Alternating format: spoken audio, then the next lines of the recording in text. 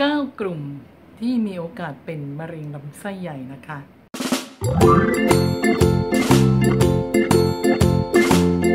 ทุกวันนี้จะได้ยินเลยนะโอ้โหเป็นมะเร็งมากเลยค่ะ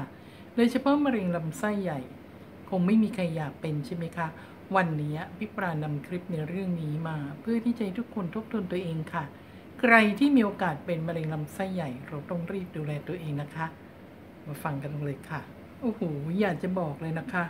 9 กลุ่มที่อาจจะเป็นมะเร็งลำไส้ใหญ่เนี่ย เราต้องรู้กันก่อนเลยค่ะว่า โรคมะเร็ง เป็นโรคที่อยู่ในอันดับต้นๆของสาเหตุการเสียชีวิตของคนไทยนะคะ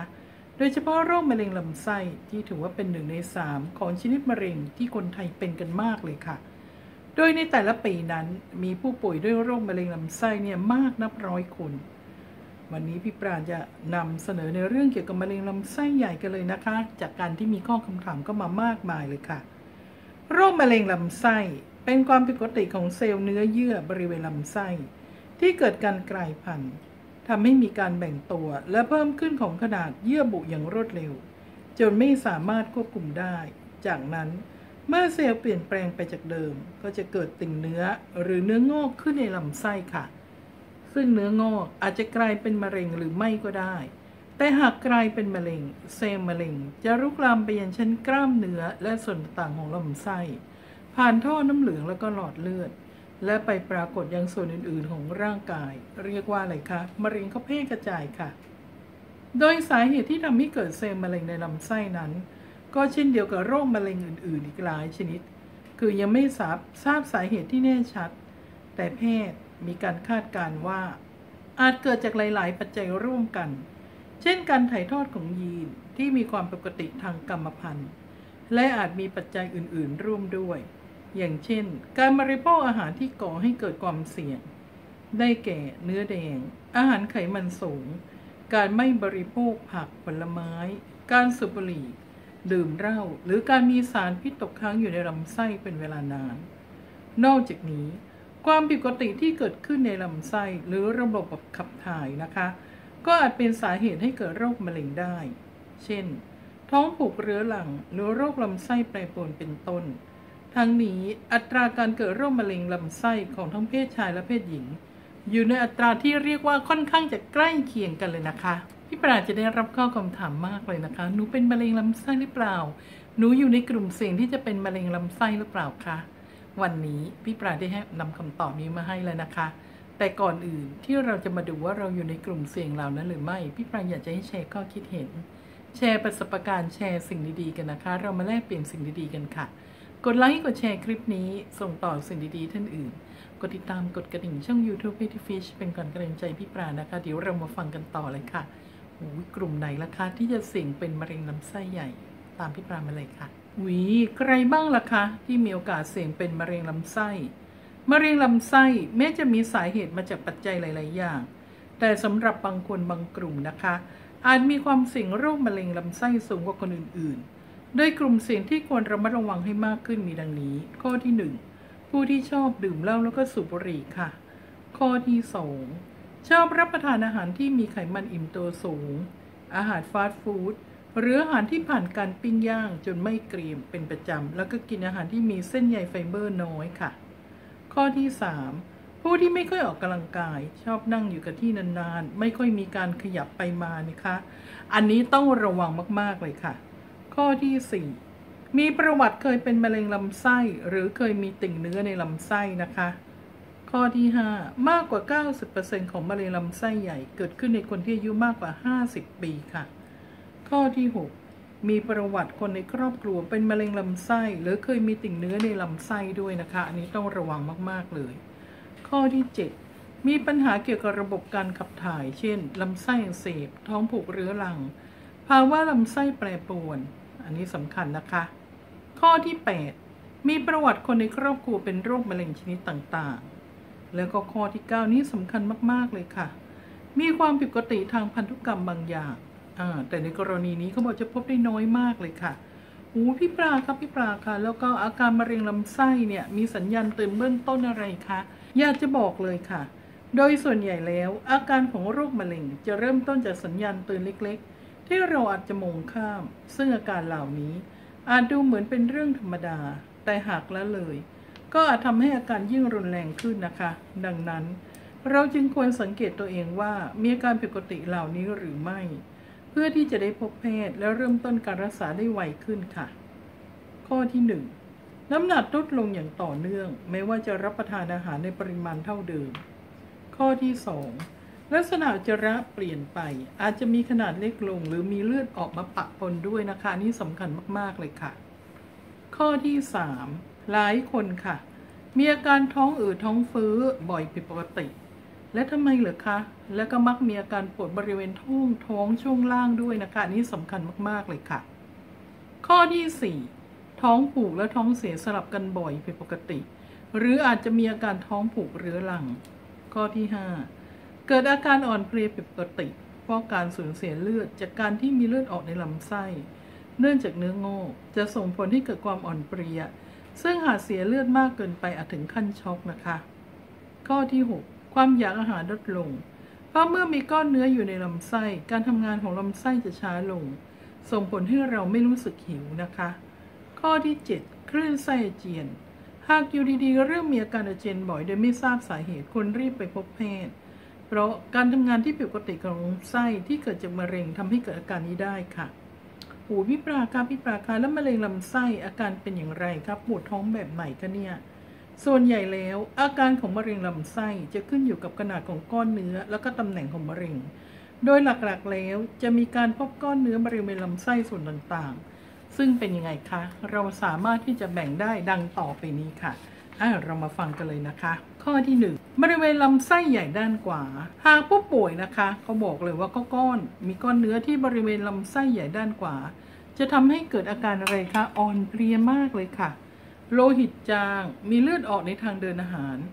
บางรายก็จะมีอาการอะไรคะ ก็จะปวดปวดหน่วงที่บริเวณท้องน้อยด้านขวา หากคลำบริเวณท้องก็จะพบก้อนเนื้ออยู่ด้วย ในกลุ่มนี้มักจะไม่ค่อยพบอาการลำไส้อุดตันค่ะ ข้อที่สองบริเวณลำไส้ใหญ่ด้านซ้ายค่ะ ก้อนเนื้อมะเร็งที่ลำไส้ใหญ่ด้านซ้าย จะส่งผลให้ผู้ป่วยมีอาการลำไส้อุดตันจากก้อนมะเร็ง หรือมีการถ่ายอุจจาระที่ผิดปกติ มีการท้องผูกปวดท้อง อาเจียน ไม่ผายลม บางรายอาจไม่มีการถ่ายอุจจาระเลยหรือถ่ายออกมาก็อาจจะมีเลือดปนออกมาได้ ข้อที่ 3 บริเวณลำไส้ตรง เนื่องจากลำไส้ตรงเป็นส่วนปลายของลำไส้ที่อยู่ใกล้ทวารหนัก หากผู้ป่วยมีก้อนเนื้อบริเวณนี้ก็อาจจะมีอาการปวดบริเวณทวารหนักอย่างรุนแรงค่ะ ถ่ายเป็นเลือด เมื่อถ่ายแล้วก็ถ่ายจะไม่สุด บางรายก็อาจจะมีการต่อมน้ำเหลืองที่บริเวณขาหนีบโต หรือมีก้อนเนื้อออกมาจากทวารหนักที่ไม่ใช่ริสีดวงทวาร อันนี้นะคะ ผู้ป่วยที่มีก้อนเนื้อมะเร็งในลำไส้ใหญ่ ซึ่งมีอาการลำไส้อุดตัน จะมีอาการปวดท้องรุนแรง คล้ายลำไส้เนี่ยถูกบิดเป็นระยะระยะ อาจจะมีอาการถ่ายไม่ออกน้ำหนักลดโดยไม่ทราบสาเหตุ นอกจากนี้หากอยู่ในระยะเริ่มแรกก็สามารถสังเกตความเปลี่ยนแปลง จากสีจระหากมีความผิดปกติก็ควรไปพบแพทย์ก่อนจะดีที่สุดเลยนะคะ อันนี้สำคัญมากๆเลยค่ะ โอ้ยพี่ปราคะมะเร็งลำไส้ใหญ่มีกี่ระยะคะมะเร็งลำไส้ใหญ่มีทั้งหมด 4 ระยะค่ะ ซึ่งในแต่ละระยะมีอัตราการหายขาดจากโรคที่แตกต่างกันไปดังนี้ค่ะมะเร็งลำไส้ระยะที่ 1 ระยะเริ่มแรกเป็นระยะที่ยังไม่มีการลุกลาม จึงสามารถรักษาให้หายด้วยการผ่าตัดอัตราการหายขาดจะอยู่ที่ 95%ค่ะ ต่อมานะคะมะเร็งลำไส้ระยะที่ 2 เป็นระยะที่เริ่มลุกลามค่ะ โดยเซลล์มะเร็งจะทะลุเข้ามาในชั้นกล้ามเนื้อของลำไส้ และอาจลามไปถึงเยื่อหุ้มลำไส้เนื้อเยื่อส่วนอื่นๆ หรือเยาวะข้างเคียงจำเป็นต้องได้รับการรักษาทั้งแบบผ่าตัด และเคมีบำบัดควบคู่กันไป ก็มีโอกาสหายขาดถึง 80-90%เลยนะคะ แต่ถ้าหากรักษาด้วยการผ่าตัดอย่างเดียว โอกาสจะอยู่ที่ 70%ค่ะ มะเร็งลำไส้ระยะที่ 3 นะคะ มะเร็งก็จะลุกลามไปยังต่อมน้ำเหลืองทำให้เป็นไงล่ะคะเราก็ต้องทำการผ่าตัดนำต่อมน้ำเหลืองออกให้มากที่สุด และต้องมีการทำเคมีบำบัดด้วย เพื่อไม่ให้มะเร็งฟื้นตัว และกลับมาลุกลามได้ ระยะนี้โอกาสหายขาดอยู่ที่ 60%นะคะ ส่วนในระยะที่ 4 มะเร็งระยะสุดท้าย ถือเป็นระยะที่ค่อนข้างรุนแรง เนื่องจากมะเร็งจะแพร่กระจายไปที่อวัยวะต่างๆ เช่น ตับปอดหรือกระดูก ในการรักษาก็จะต้องทำการผ่าตัดค่ะ เพื่อตัดอวัยวะบางส่วนที่เป็นมะเร็งออก แล้วก็ทำเคมีบำบัดร่วมด้วย ในระยะนี้พี่ปราบอกเลยนะคะ หากได้รับการรักษาที่ต่อเนื่อง โอกาสหายขาดอ่าเป็นไงคะ ก็เทียบเท่ากับระยะที่ 3 ค่ะคราวนี้เรามาดูกันต่อเลยนะคะ การตรวจหามะเร็งลำไส้มีหลายวิธีค่ะ อันที่หนึ่งเขาก็จะตรวจโดยใช้นิ้วตรวจทางทวารหนักนะคะ วิธีนี้ถือเป็นการตรวจแบบเบื้องต้นเลยค่ะ ข้อที่สองเขาก็จะตรวจหาเลือดในอุจจาระนะคะอ่าอันนี้เนี่ย เพราะฉะนั้นเนี่ยอย่างที่บอกค่ะ